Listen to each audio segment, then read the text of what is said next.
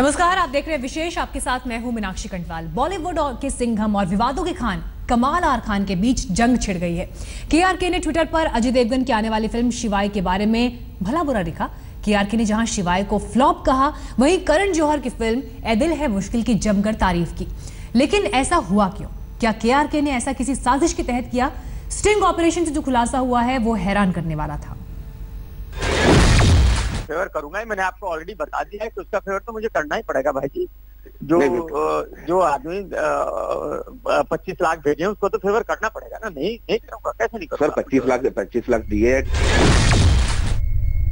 ये आवाज़ एक स्टिंग ऑपरेशन के तहत रिकॉर्ड की गई है और इस स्टिंग ऑपरेशन से बॉलीवुड के विवादित एक्टर कमाल राशिद खान यानी के आर के बुरी तरह फंस गए।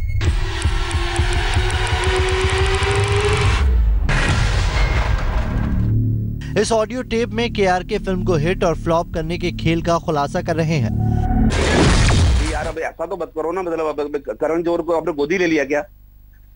करण जौहर भाई जी क्या क्या करे? करण जौहर का थोड़ा सा तो करना पड़ता है ना। क्या क्या अरे ऐसा मत करो ना यार बता देखो आप, आप अपने हो मतलब अच्छी बात थोड़ी है। नहीं नहीं अच्छी बात तो कुछ नहीं है हाँ। बट उसका तो देखो उसका तो मैं फेवर करूँगा ही मैंने आपको ऑलरेडी बता दिया है कि उसका फेवर तो मुझे करना ही पड़ेगा भाई जी। जो जो आदमी पच्चीस लाख भेजे उसको तो फेवर करना पड़ेगा ना। नहीं नहीं करूँगा कैसे नहीं करूँगा? सर पच्चीस लाख पच्चीस लाख दिए हैं ठीक है तो हमसे भी ले लेना ना। हम भी आपको हम हम भी कुछ ना कुछ सपोर्ट कर देंगे। हम तो अरे हम आपका तो हम बिना बिना फेक किए अफोर्ड कर दे लेकिन आपका हीरो तो आ, मतलब आ, उसका क्या नाम है? मैं उसके बर्थडे पे शायद एसएमएस भेजा था उसका रिप्लाई तक नहीं करता। भाई आपका हीरो तो सर वो नहीं है। वो वो, वो कहाँ कर अरे तो बेचारे को। अरे वो आपको पता है नॉन सोशल आदमी है। हाँ तो मैं यही कह रहा हूँ ना तो उसको कहाँ हमारी ज़रूरत है? वो तो खुद अपने आप चला लेगा अपनी फ़िल्म को। नहीं नहीं फ़िल्म तो चलेगी लेकिन लेकिन भाई जी अच्छी बात नहीं है ना देखो क्या है आप देखो आप आप खुद ही देख रहे होंगे कि किस तरह से लोगों ने उस पर रिएक्ट किया है। क्या आप आपकी क्रेडिट पच्चीस लाख रुपए में कौन- अपना कौन सा ये हो जाएगा? नहीं नहीं तो हम तो जो आप बोलोगे कर देंगे भाई जी कोई प्रॉब्लम नहीं। के आर के के स्टिंग से जो खुलासा हुआ है उससे पूरी तरह बॉलीवुड के सिंघम के निशाने पर आ गए हैं करण जौहर। अजय देवगन ने जो प्रेस रिलीज़ जारी किया है उससे तो कम से कम ऐसा ही लगता है। अजय ने कहा है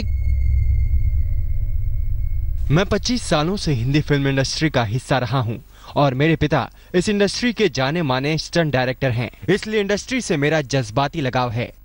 ऐसे में कमाल जैसा कोई एक आदमी उठकर फ़िल्म को बुरा कहता है, ताकि वो हमसे पैसे ऐंठ सके। कमाल ने इंडस्ट्री में कुछ अजीब सी धाक जमा ली है, ताकि वो पैसे वसूल कर सके।